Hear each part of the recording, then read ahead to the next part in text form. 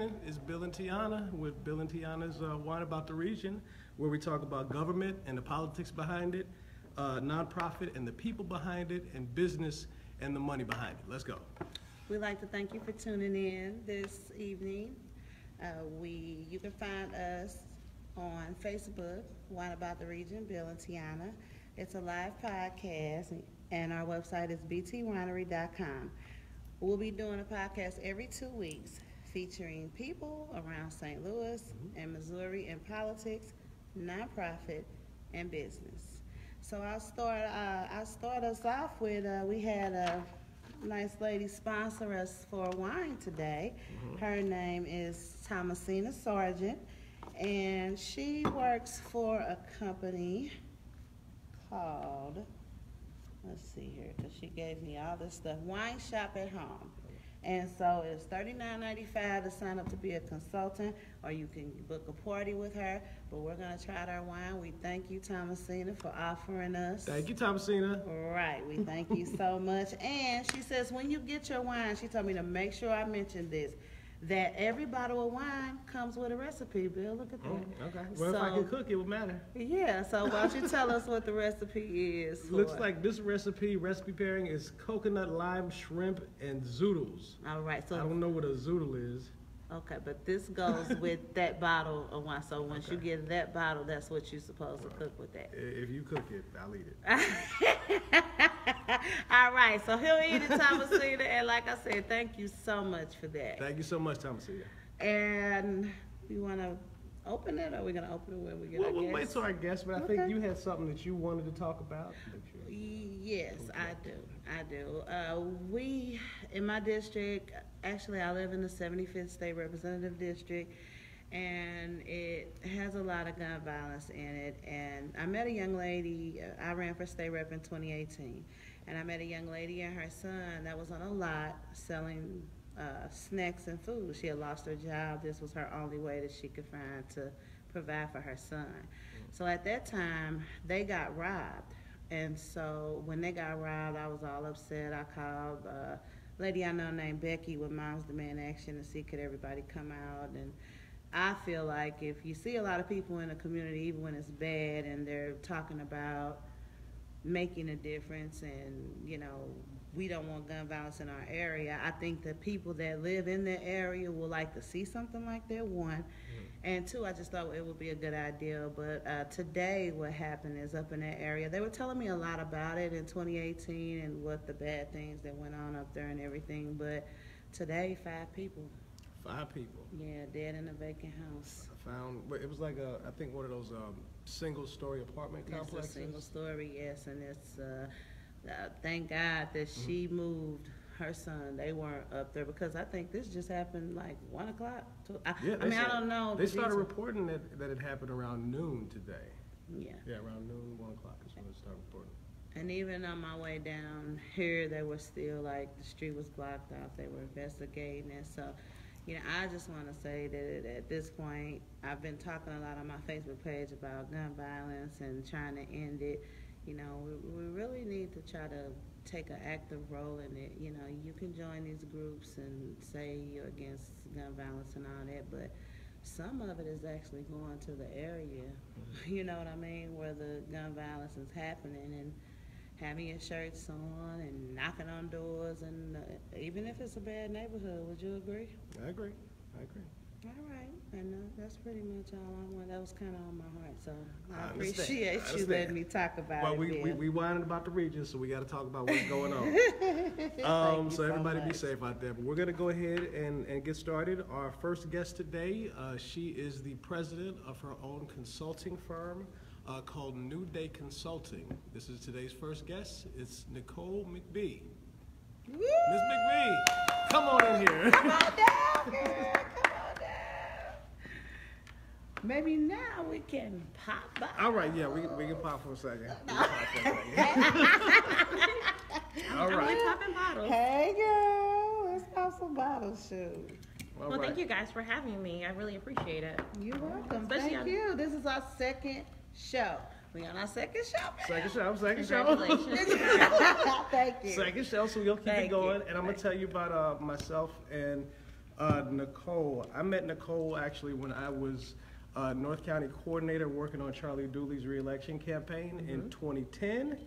And our campaign office happened to be right in the same uh, little business complex that an office that she was working in uh, uh, uh, what was located uh, called it's Deer Valley, right? Deer Valley Home I had a Deer Home Valley. Health Care. Okay, in Berkeley, is it? Uh, Okay. yes, yes. Yes, I know you were doing some stuff to help them uh, in some of their business challenges. So, So, so yeah, how about I- you talk? So ultimately, what happened is, is that um, um, I transitioned from banking into small business. Uh, Okay. so I was in banking. Um, I was a personal banker for a very long time. I moved to an assistant manager uh, with one of the uh, top three banks in the country. Okay. Um, had a great opportunity um, to you know, travel uh, and be bank ambassador, so it was amazing. But I, like many women, um, we kind of hit a ceiling. And so I was top 2% in the region. And ultimately, what occurred was, it's like, oh, well, we had, you know, minorities were struggling uh, to actually hit the C-suite. And so I, I have my MBA, I have a master's in management, and, and yet high performing, uh, excelling, and they kind of kept us stuck in middle management. And I was like, well, nope, I'm ready to go. I have now experience, proven numbers, proven record, um, the clientele, and now also the education as well. Okay. And I just got stuck. So I had an opportunity to break off into entrepreneurship like many, many women, especially in the St. Louis region. As we know, the Riverfront Times just ultimately said, hey, women, minority, minor, especially minority women, are exiting the market and becoming entrepreneurs. They're leaving corporate jobs. Right. And I, I think that we've participated in diversity and inclusion programs. We've done everything that you've asked us to do in corporate segments. Right. And, Right. and this corporate And you still, sec- and uh, still get stalled and you in still the get process. stalled in the process. Yeah. Uh, but I think, um, and for me, it, it wasn't some of the trouble spots that other people have, like lack of mentorship, things of that nature. I didn't have that. I, had the mentors, I had the education, um, but ultimately it was a great thing because I actually had got an opportunity um, to see the business in action.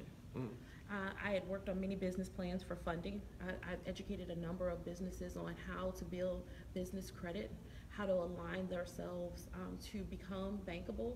I've done financial literacy, so I've always kind of done the the theory of it, and this was an opportunity to actually apply it. Can I ask you what kind of organizations you work with? So I've worked with Fortune 500 companies, all the way down to mom and pops. Really? Yes, companies with you know two employees, with companies with 600 employees. So that shows you don't discriminate. I do not discriminate. I love I'm minority-owned businesses. I love women-owned businesses, and and my niche is truly women-owned businesses. Um, Yeah. So just across the sector, because I, I feel one, women-owned businesses since 1970, since I was born, 77, has mm-hmm. grown 103 percent. Mm-hmm. We now have 11.6 women-owned businesses. We generate 1.7 million dollars in in trillion. Let me say that again. With a T, trillion mm-hmm. dollars Wow, in sales. okay. Well, I'm gonna thank Bill real quick because this is great because have you told her about like the Women's Political Caucus and what I do? I- I- Which we I- have I our haven't. convention this month. We have our convention coming up for the National Women's Political This is her Caucus. plug time. It's in St. Louis this year. And you know what? And this is on and on again. I always say business and politics are brother and sister. Yeah. Yes, but this is great because she needs to start being a part of it. Okay. Especially That's- with the minority, if, you know, that gets to going. Okay. well, Okay. Talk to the people.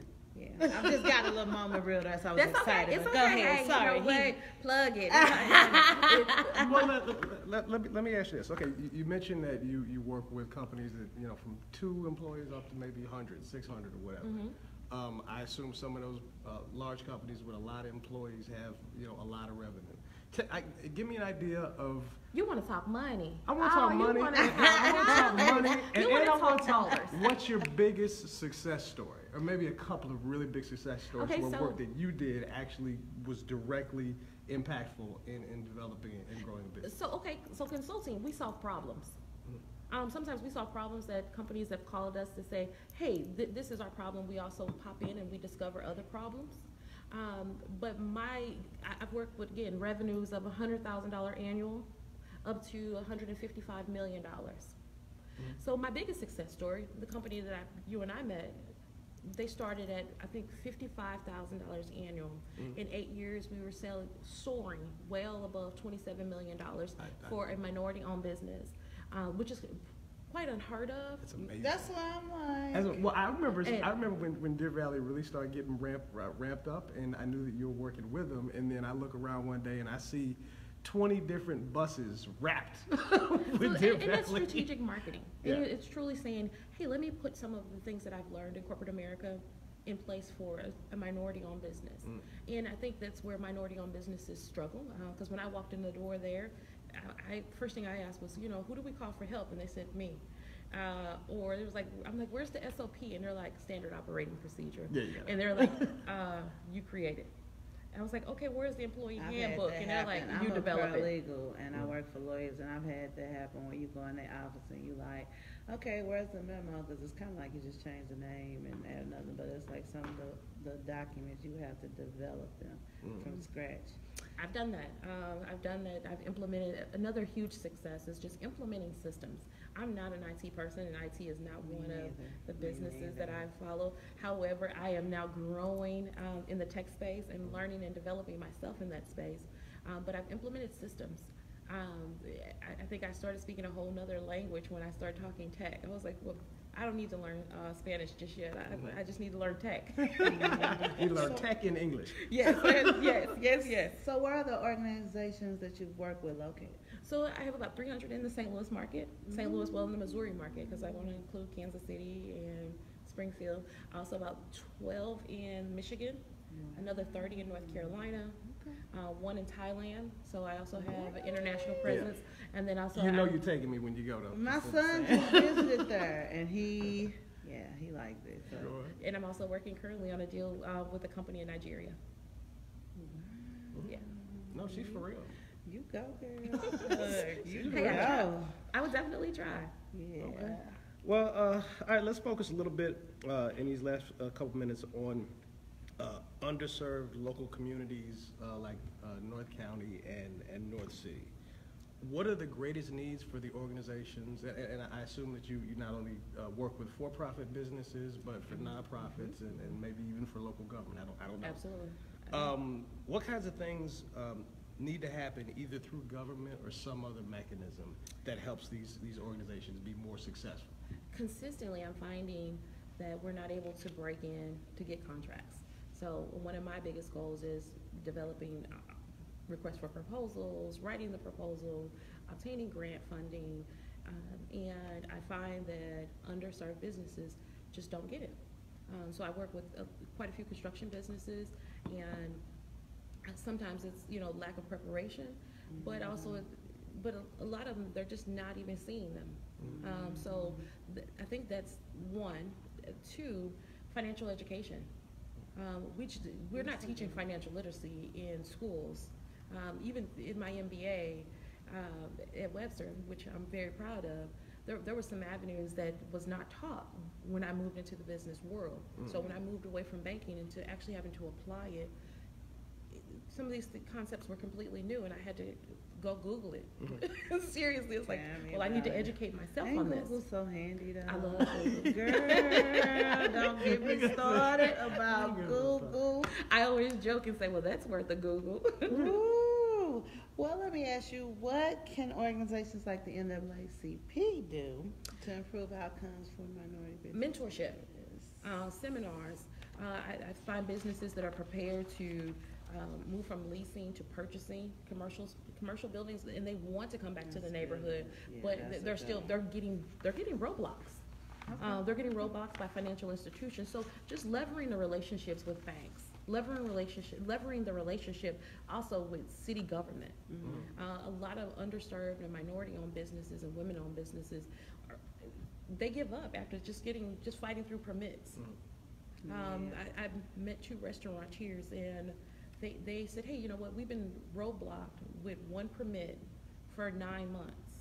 We've now spent well over two hundred thousand dollars invested in this business and we give up. Good Lord. Okay. because they, they were unable to get their permit, they were that's- understand, uh, they were unable to just communicate effectively with local municipalities. And I think NAACP is one organization that could kind of, you know, say, let me arbitrate this, let me, let me be the mediator in this, let me. Put up the fight. Yeah, let me put, let, let me fight the fight for you. Yeah. Maybe you guys are not speaking the same language, uh, maybe you're not understanding the document requirements. And not all businesses can afford consultants. So there, there's some businesses that come to me and they, they can't afford it. Um, but of course, you know, I will give some services, um, but there's other things that I feel like nonprofit organizations should assist them with.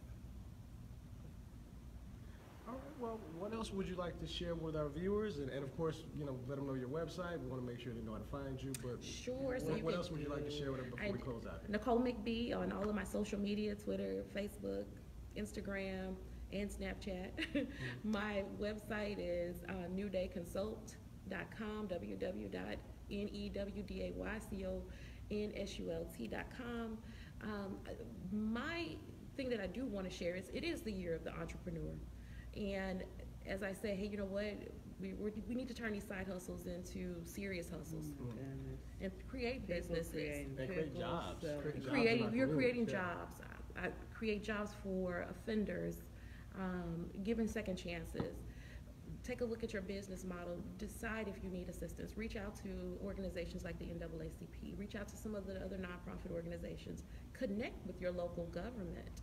Uh, so a lot of times it's just relational.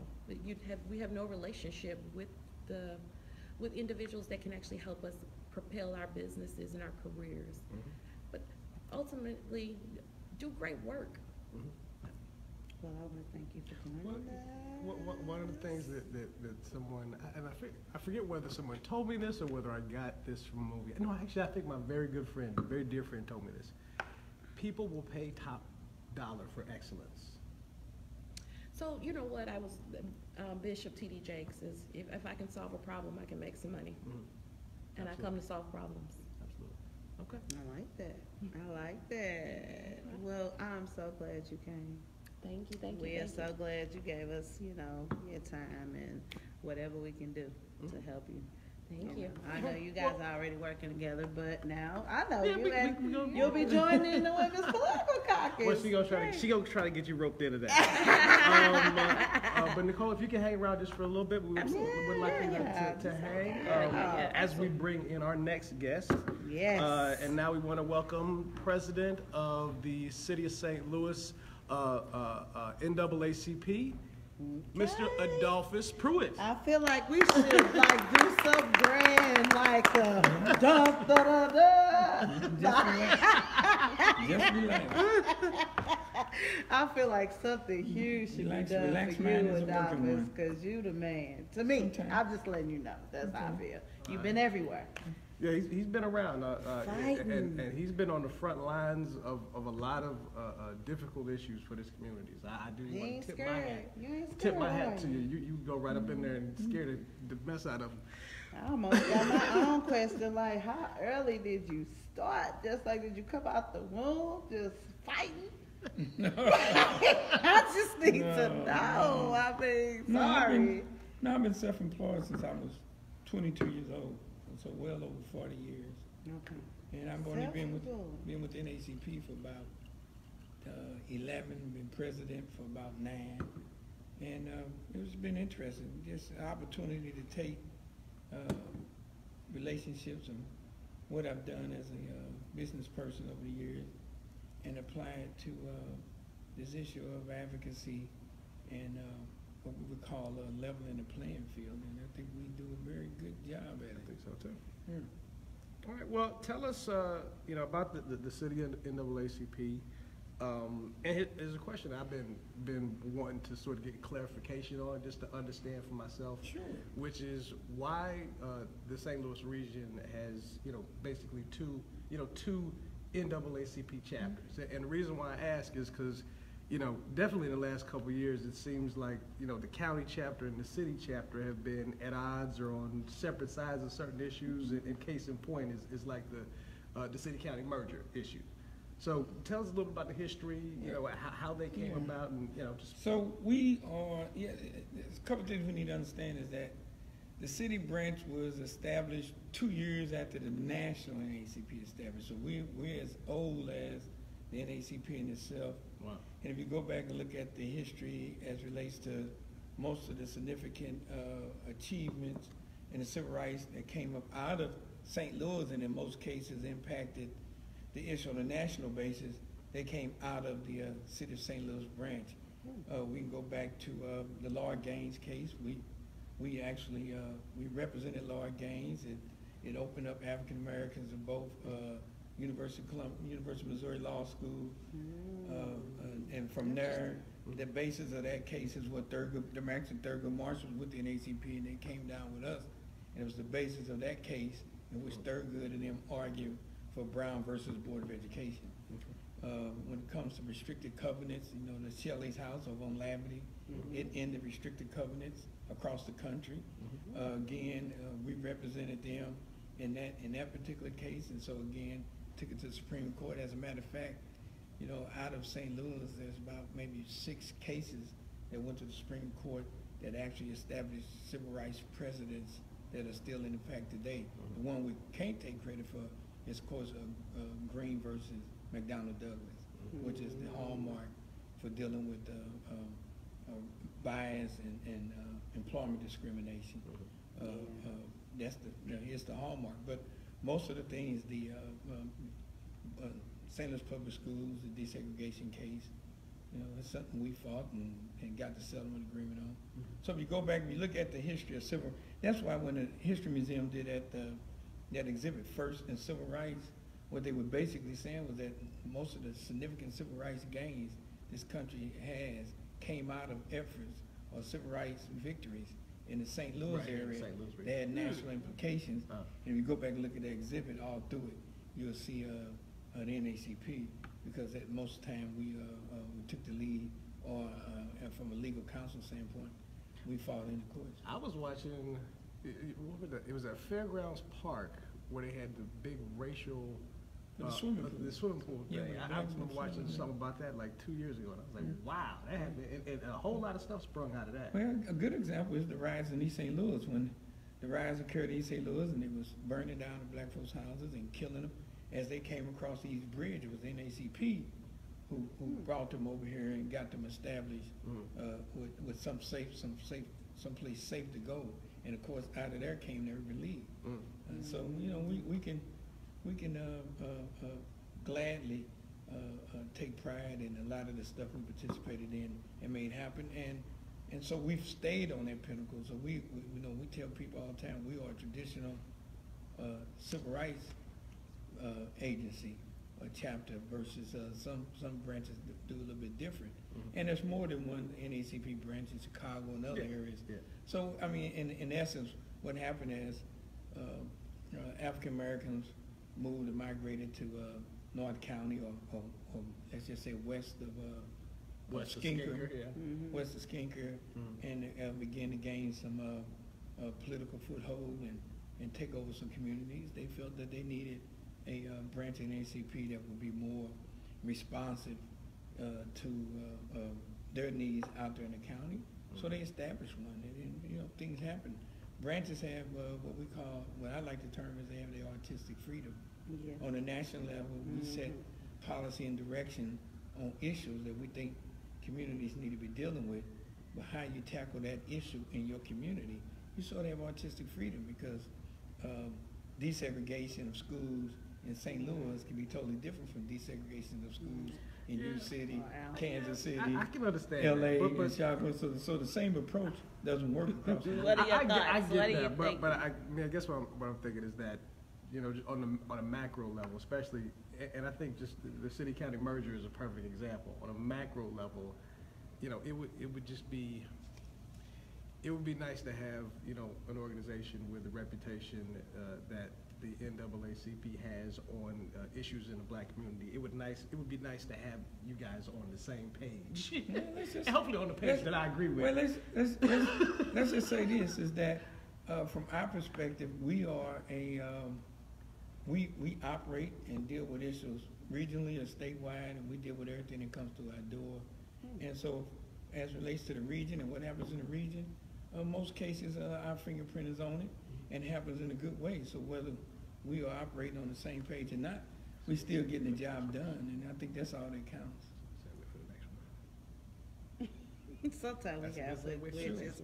So okay. should Go I? ahead. Okay, so let me ask you, what top three regional issues that the city in the NAACP is focused on? Well, actually, uh, so let's, let's be clear. The, the, the most pressing, issue for the region is, uh, uh, the issue of underserved populations and them being a part of, uh, uh, the, the, the region's economy. So we, I, I, so, uh, economic-based theory holds that, uh, communities in order to prosper must have income income which is primarily derived from the That's always a wages that the people in that community earns. And so when that does not happen, those communities suffer adverse catastrophic outcomes, poor health outcomes, poor educational outcomes, high crime. Uh, all of these things that impact uh, uh, uh, underserved populations are a byproduct of poverty. And so why you got a lot of people, well, so you got a lot of people, well, you got a lot of people and a lot of organizations attacking those individual issues. But from our perspective, Needs to be uh, the, the, the, the issue that, the one problem that we can solve, solve all those issues is the increase of household income. So we are always, always focusing on, um, uh, opportunities to grow, uh, income in households, and we do a very good job at it, not only locally, but statewide. I'll give example, uh, well, seven years ago, the uh, Minority Business Ini- Initiative that's under, under the Missouri Housing Development Commission, which opened up the door statewide and got more minority participation in hundred million dollar or greater tax pro, low-income housing tax program.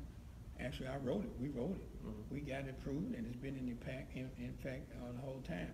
The Missouri, uh, Finance Development Board, same thing. Uh, we got that done. It's, it's impacting everybody statewide, but especially the urban areas, St. Louis and Kansas City.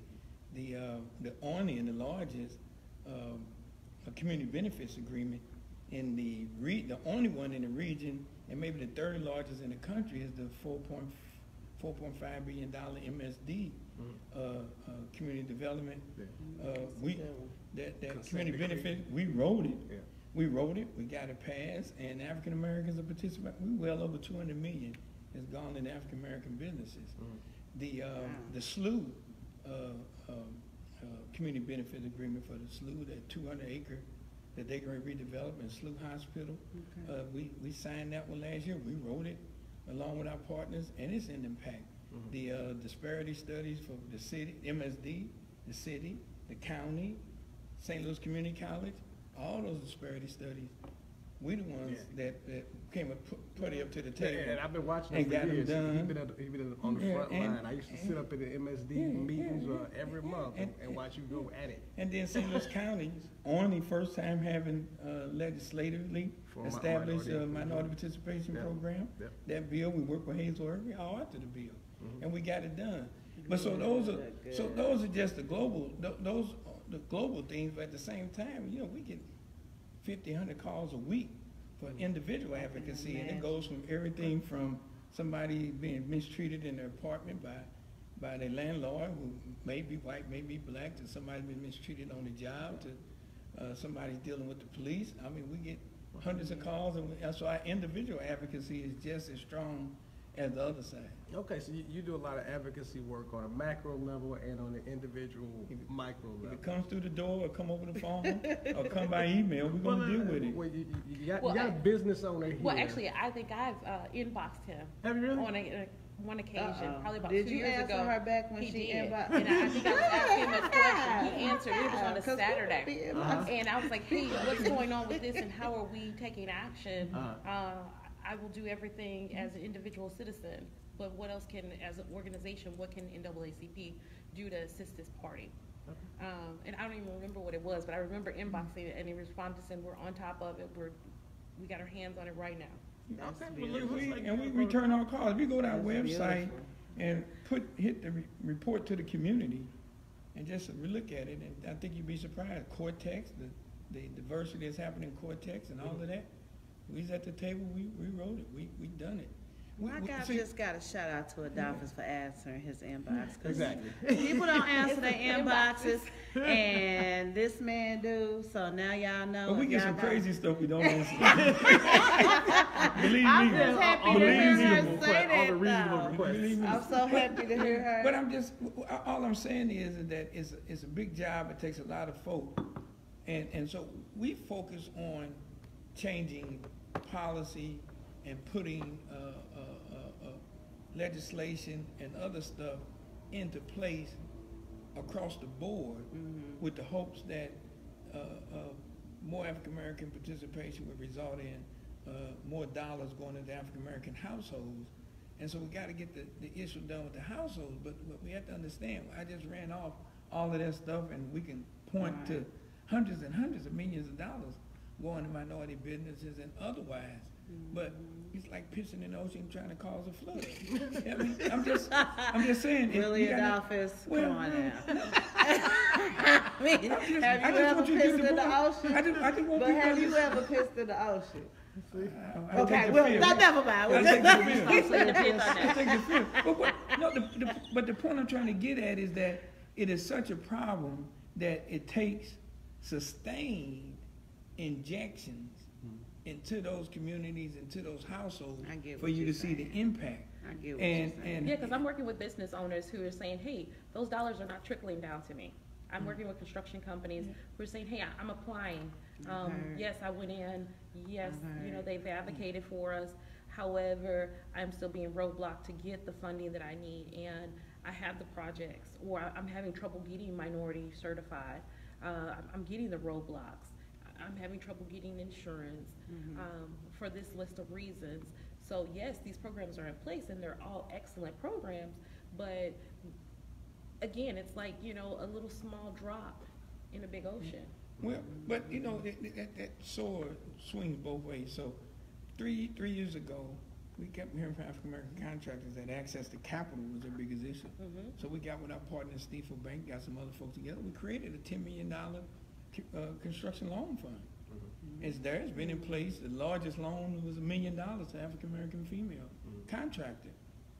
And so we got, we got plenty of folks that, that taking advantage of it, and over the years, we've put maybe five, lim- five, six million dollars in three years out on the street. But what happens is, we get a lot of the companies that apply, they don't, they don't have the infrastructure in place to take advantage of it, on, and on the other side of it, a lot of them want it to be a grant. And we're like, no, it's not a grant, the issue is, is that, is that we wanna make you bankable, and believe me, uh, uh, uh, we've had instances where folks have had, got a loan and had some problems, and we were able to do things that a normal bank couldn't do. And see, that's where I mm-hmm. come in and is like to create the infrastructure. Yeah. To say, hey, I, I wanna take you to the dollars. Mm-hmm. However, there's some requirements from your business that must be met. There's some things, there's some systems that need to be in place. There are some filings that need to go into place. Mm-hmm. These things need to happen before we approach, um, to ask for the funding. Yeah, But, but, and, but we've never had opportunity to put all ten million dollars on the street, not because we're not trying to put it out there. Put it on my We just screen. can't- What does it Wait. need, what, what do Well, no, people no, need, no, to- let Tim look on my into screen. this camera, and what do Well, people so need to here's a good- Here's a do? good example, here's a good example. Uh, uh, you come in, you want the loan, but you haven't filed your tax returns in the past three years. That's a problem. That's a Keep it problem. real, huh? Or, or, or you don't, or, you know, you, you, you are, you're doing a lot of, uh, business by cash. Uh, So being able to track the cash flow, being able to get some understanding, problem. putting your books together, have, When- there- I mean, there- there's just a lot, and, and it's not that nobody's trying to, we're gonna do that, but you have some, some folks who, they, they reached a, a level where they're comfortable that I got control of this business. Mhm. What I got coming in, I know I can make this happen, and I'm, I'm satisfied here. I think that's And that trying to get them to mentorship. grow, I- I- yeah. So I think that we're trying to get people to hundred when they, they need assistance at ten and twenty. Gotcha. Um, and so again, that's where I come in, and it's like, hey, you know what, I, we need to build a business structure. Um, you guys are great at providing the service, but now when it's time to scale the business, we're missing the mark in scaling it because we haven't had a, a foundation for the business. And so again, we, we ask organizations like the Urban League, Father Support, NAACP, we're asking Grace Hill to say, hey, can we get some of the basics? Mm-hmm. Uh, because again, we're missing the basics. When I think about it real quick, I wanna ask you, so you, you help businesses, and I'm sorry, No, this, you're this popped in my head, but, you know, I know women from the point of they just selling pickles. Haven't you ever saw these, they selling these Yeah, pickles? yeah.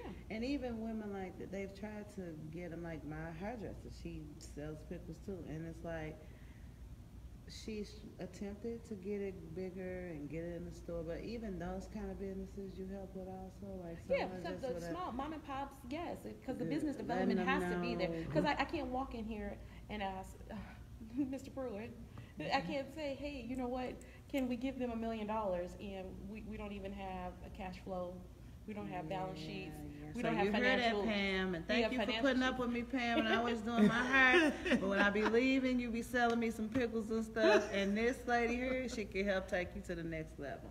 All right, back to you, Mr. Adolphus. But the strong, again, the other thing for the region though is, is, uh, uh, the biggest Oh, thing is airport okay. privatization.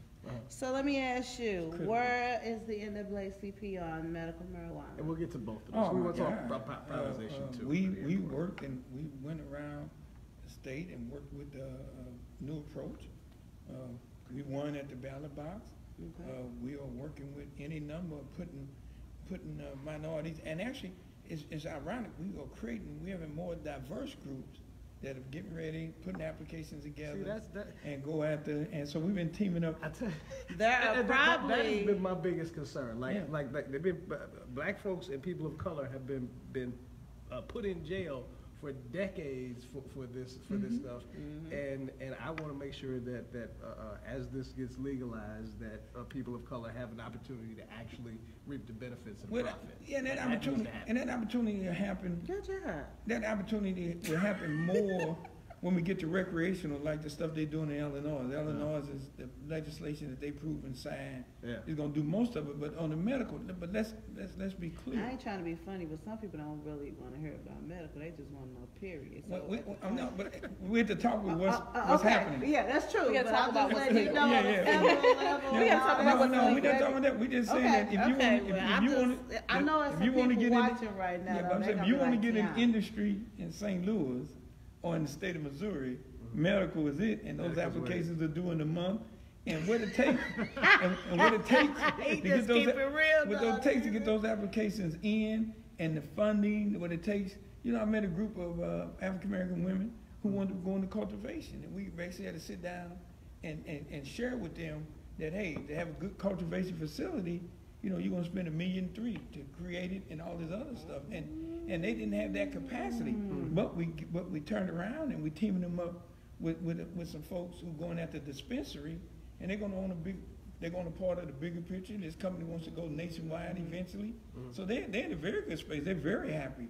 So it's a It's so a fucking no, but It's but you like have to meet but you have to meet people where they are, You and then you have to You do. then you have to match them or That's put them in a position statement. where they can get in and they can grow with the industry and take advantage of it. Mm-hmm. Because let's just access to capital has always been an issue for African Americans, but it's really an issue when you talk about an industry in which federal banks are not lending into that industry in the first place. So now it's about strictly it's about investment capital or your private capital is what you got to make what you got to use to do that. But we high on medical marijuana, we high on uh, uh, uh, recreational. We want to make it happen. Yeah, we want to make.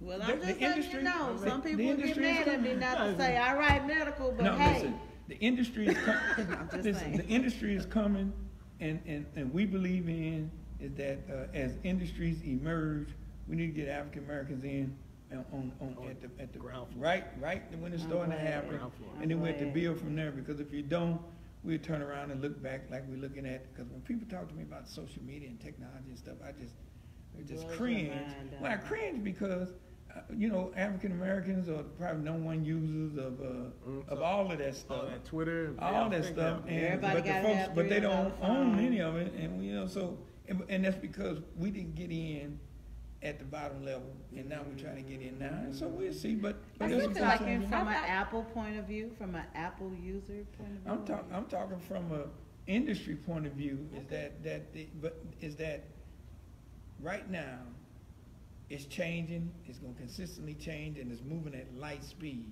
Mhm. And, and if you had to not only get in, but you had to get in on the front end because it's gonna change. It's, it's, you know, what you're using now, if we get in now on, on, on, a certain thing now, the way it's changing, it's gonna be obsolete in a minute. And so it's, it's, it's, but we got some folks out of, some black folks out of Silicon Valley and some other folks who are really starting to get a foothold on it. So even with the cannabis business, uh, and I have two clients that are in cannabis, uh, unfortunately, they're not minorities. Um, But I, the minority clients that have contacted me for assistance, they feel like they're behind. They feel that they're two or three years behind. So when I mention criteria and I, I start educating them about it, they're, they feel like they're lost in the dark about the process to actually apply. And then also, again, the access to capital. Um, they're saying, hey, we're being, we're limited. And there is no organi, they're limited to organizations that are venture, uh, capital firms that are willing to give out money. Um, so, a- again, here we are with women and minorities, still behind. Uh, I, I have, like, personally, I have issues with stuff like, like this, because, I mean, t- to me, they create, obviously, huge barriers of entry when, you know, your license costs, what does it cost, like a hundred thousand, hundred fifty Ten, thousand? ten thousand dollars. Is it six thousand? Six thousand for the application, yeah, yeah. dispensary, yeah. Yeah. Six So it ain't- But all you need is some ten seeds, thousand just dollar give me some seeds and some grass. Well, you, but actually, Yeah. but, ac- but actually, you can grow at home. The law does provide you to grow at home. Okay. For your individual use. okay. You have to get, you have to get a license from, by your doctor. You still have to go through the same process, but you can grow at home. But when you say sixteen thousand dollars to some individuals, when you're saying, hey, the application fee is the six thousand dollars and then another ten thousand dollar annually for license. In addition to that, we now have to go back to municipalities, and this is where we come back to you, Bill. We come back to you saying, hey, our municipality is not gonna even allow us in, and, cause we don't have a political relationship.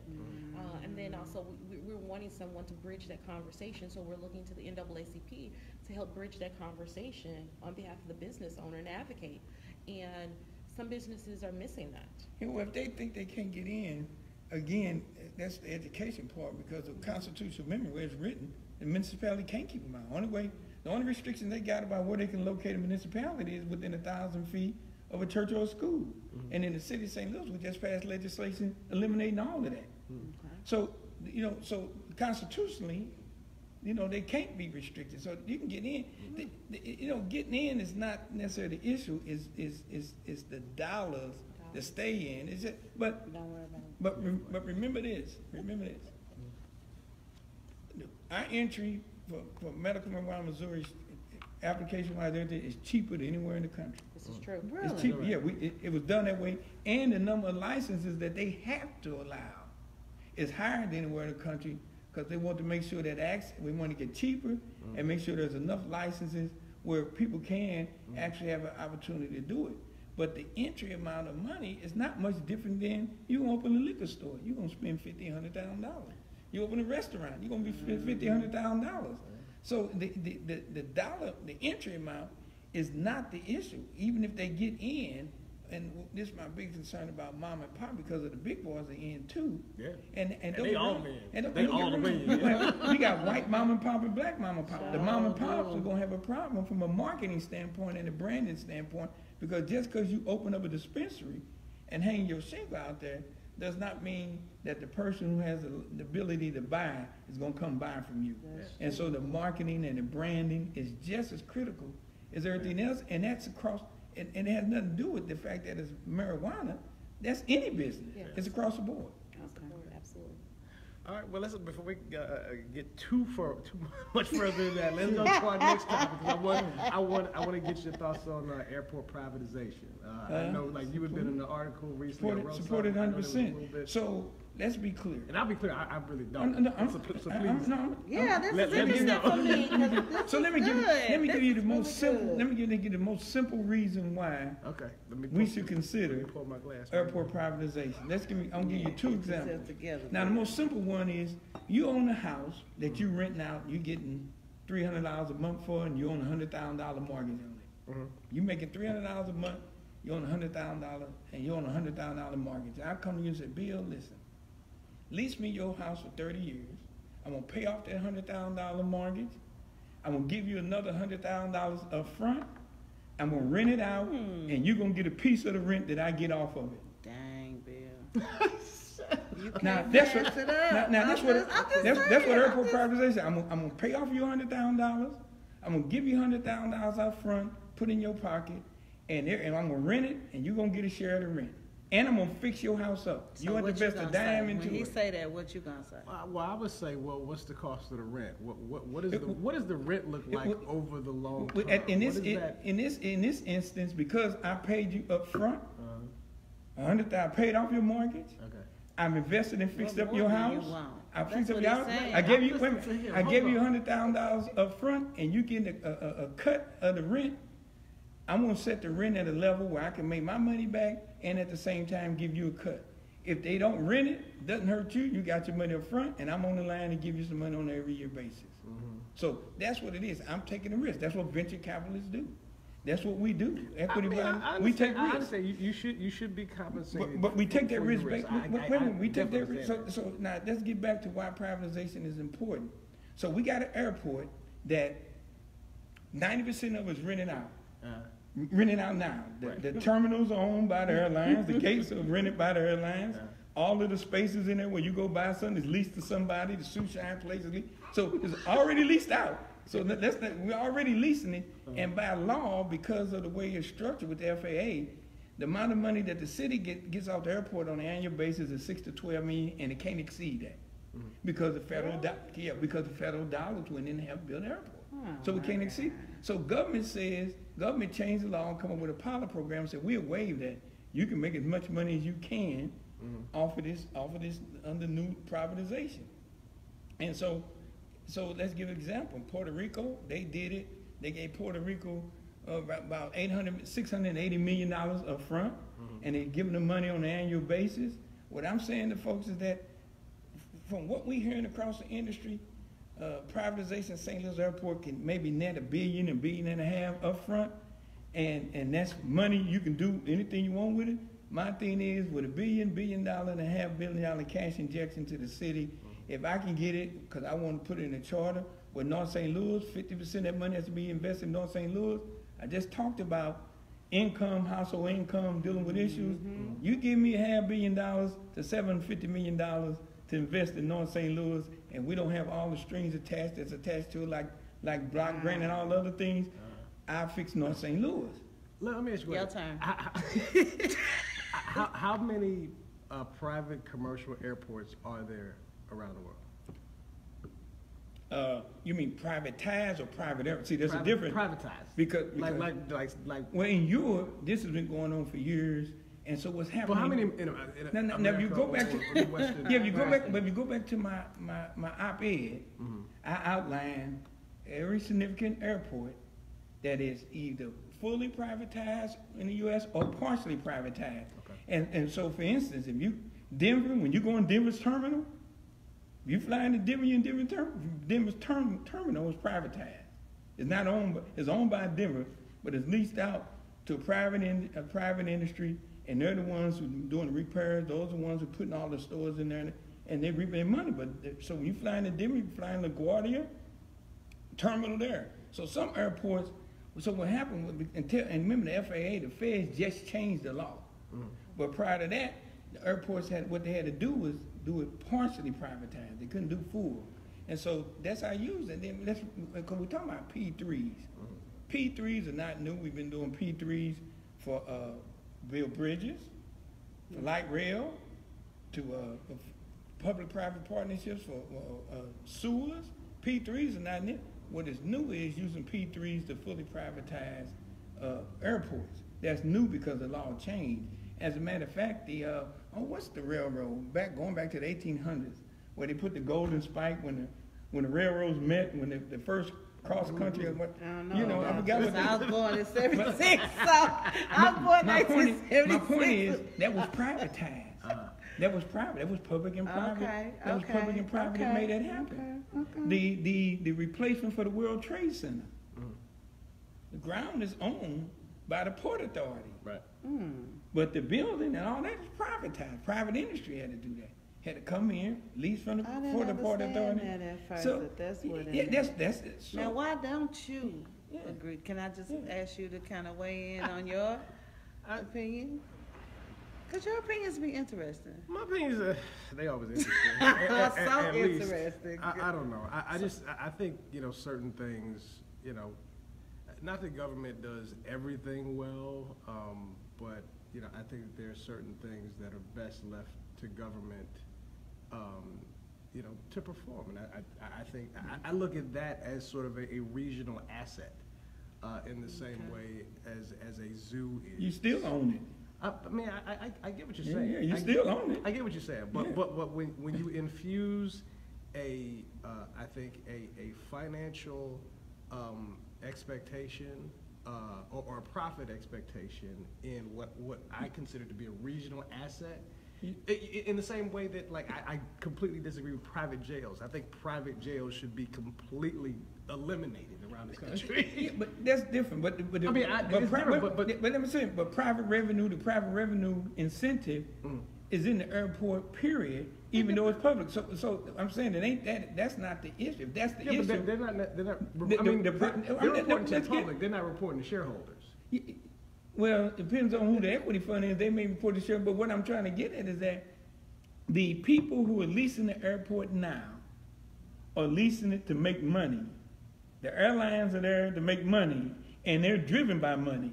Yeah. And, and, and so, and at the same time, we spent a billion and a half dollars 20 years ago to build that W1W airport, took Bridgeton out, and it's the least used runway.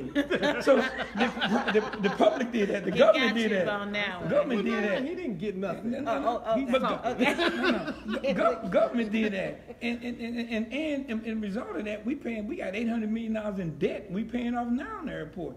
And so, and let's be clear. No matter how much money we get off the airport, if it's outside of that program, how much money the re- region doesn't get anything. They don't pay taxes, they don't pay property taxes, they don't pay all of that mm-hmm. because of it's publicly owned. On the private side, under the lease, they would. It, it, it, it, is, it is not about, let's just say, it is about having a first class airport that provides the services to the customers that they need. And if, and if they can do that and provide that service and drive revenue and drive revenue more than this purely 600, $6 million a year that we get paying off $8 million, $800 million in debt. If you, I didn't say it was pretty. yeah, yeah. And, and, put the run, and put the runway to use that's been been sitting there empty for. To, it, they, we got a runway that can, we can land any any type of plane that's made today. we can land it on that runway. and That runway gets used twenty percent of the time. I think this is the opportunity when a, a lot of people say, "Hey, uh, government needs to stay out." Uh, or business need to stay out. This is, I, I am for privatization. Okay. Um, You're for, for, what about you? Have you even, have you thought about it enough? Mm, my mom works at the airport, and she is actually not for it. So I'm a She, she's a city. She's I'ma a city roll with my employee. mama. Is she a city employee? Yeah, if you work for the airport. you- No, no. See, that's what I'm saying. Eighty percent of the people working at the airport work for those private Oh, work- companies. work for Delta and whoever, okay, gotcha. yeah, No, every- she works for where they used to be host. I don't really. yeah, know hosting and are that's it's private. It's private. It's private. It ain't the city. All I know is she ain't for it, so I just yeah. got my mom been out there thirty years. Actually, we joke. My mama shot your joke out real quick. We say she built the airport because she. Then been I had to know your 30 mother. I worked at host. My, my, I worked at host when I first My came back to St. Louis. Venus. If you ask her, used does she wear know Mildred Walden and some other folks? She wore the same Yeah. for But what, what I'm trying to get at is, is that the, here's a, that's a good example. There's 2,500 employees at the airport, and 80, 75 percent to 80 percent of them work for the people who they, they, they're not city employees. and, and the only way that they make money and get paid is that the traffic goes up. If it wasn't for South, if it wasn't for Southwest, we wouldn't have an airport. You're right about that? If it wasn't for Southwest expansion, we wouldn't have an airport. we, we, the- we one of the Yeah, main, she was a uh, part of that Midwest big hubs. TWA shutdown, and, and it changed like after September 11. Like we used to could go out there and hang out with mom and do all that, but after September 11, we couldn't go out there and hang out no more. So yeah, But she's- everybody else is doing through it, in, in the airports. They have to thrive, and you and, and always remember this: to the flying public, the airport really is your front door. First thing they see when they land in St. Louis. and it makes get a out the way. different city I to was, see. I was in, which airport was it that I was in? Where you go, to, you know how they have the, uh, the belts that, that you, Right. It's like an escalator, but it's Right. flat, whatever. What, Right. what, what do you call it? I know. Moving, move, people movers. People, whatever, people. move. Uh-huh. But I forget whether it was Atlanta or whether it was Probably Cincinnati, Atlanta. where you go through and it's lit up like throughout the whole Yeah. thing. Like it's lit. It looks like a club. They're My cities. son live like, as soon as I got up, I was and like, when I oh. fly into Tacoma to see him, it's like, where did y'all get this airport yeah, from? It's yeah. yeah, like, no, I, I, I, trains I, Yeah, taking yeah. you all this we just got a long couple nice paintings. Yeah, That's yeah. it. It makes a difference. You're right. You're And- right. and- I- and- I- and- I- and I see- We can't- don't have one of them big nice airports like other cities. Well, not just that, but we, we talking about the, the cargo. We talking about we don't have a, a hotel. We don't have a hotel on airport property. You mm. can't rent a car on airport property. But we own fifteen hundred acres around the airport that's vacant. Yeah. Private enterprise, what they're gonna do is find a way, build a hotel on site, cause it brings in revenue. They help pay their money back. They're gonna, the, the rental car companies want a, want a facility on site. Right. They don't want it. When you get on the airport, they got the shuttle. Matter of fact, now when you get a rental car, sometimes you have to go all the way to St. Ann.